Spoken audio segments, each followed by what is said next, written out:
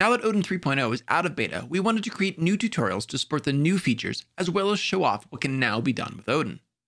One of the biggest improvements is the newly implemented action and value resolver system that replaces the highly manual system used in earlier versions of Odin. For this video, we'll be creating a simple attribute that will make use of a value resolver and will color a field if a given condition is true. If you haven't made a custom attribute with Odin, you might want to check out our earlier video on doing just that. Check the link in the top right and in the description below. So to get started, our attribute will need two string fields, one for the color and a second for the test condition. Values for both of these will be set in a constructor. We then need to create a drawer for the attribute. Do note the namespaces that we've added to access all the needed classes and types. Inside the drawer, we'll override the draw property layout function. Then inside the function, we can define a boolean to store the value of the condition. And for now, we'll just give it a temporary value as we'll come back to getting the actual value in a bit.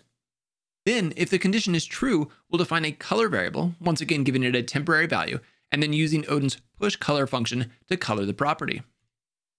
We then call this dot get next drawer to ensure that the value is drawn as it otherwise would have been drawn. Then we once again check the condition, and if it was true, meaning we pushed a color, we'll pop the color to stop coloring properties further down the inspector. We've got the basics set up, but now we need to actually get the color and condition values. To do this, we need to create two new variables, each of the type value resolver. The first will have a generic argument of color, and the second of boolean. We can then create instances of the resolvers by overriding the initialize function and calling valueResolver.get, passing in the correct generic arguments, as well as the property and the strings for the color and condition from the attribute.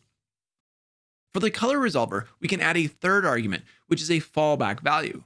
Otherwise, the resolver might return the default fallback color, which will have zero alpha and will appear transparent. With these instances created, we can then get rid of our default values for the condition and the color in the draw property layout function. And we can do this by calling getValue on the corresponding value resolver. With this done, we can test our new attributes by creating a simple class with one variable and one method that will get called by that attribute. Do note that in this case, the function returns a boolean. If we go back into Unity, we can test the functionality and we can see that as we type in the field, the color property toggles between the default color and the color we put into the attribute. Now this works, but there's no visual indication if the strings in the attribute can't be resolved. So let's fix that. To do this, we can call the function valueResolver.drawErrors and give the two value resolvers as input parameters. If we then put in a string that can't be resolved, we can see an error in the inspector explaining which string can't be resolved. All in all, that's pretty easy, which was the goal of the new resolver system. But there is one special case that's worth addressing before we end the video. That case is if you are trying to resolve a string into a string. This occurs with attributes such as title that take in a string which can be used as the title, or that string can also be resolved to call a method or reference a property.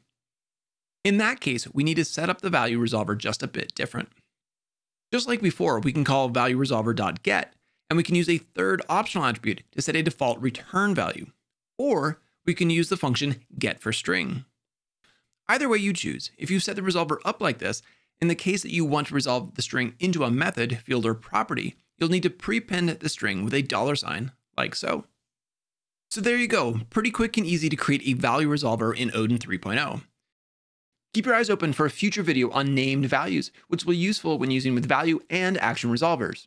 And until next time, happy game designing.